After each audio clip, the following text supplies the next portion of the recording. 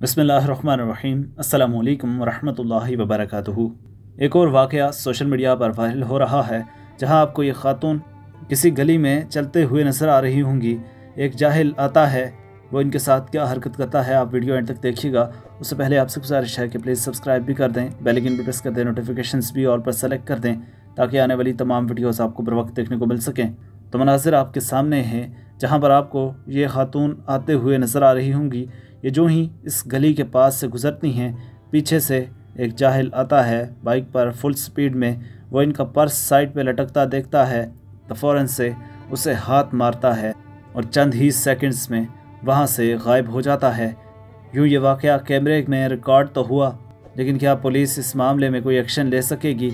अगर गली महलों में भी इस तरह के वाक़ात पेश आने लगे, आवाम इसी तरह लूटने लगी।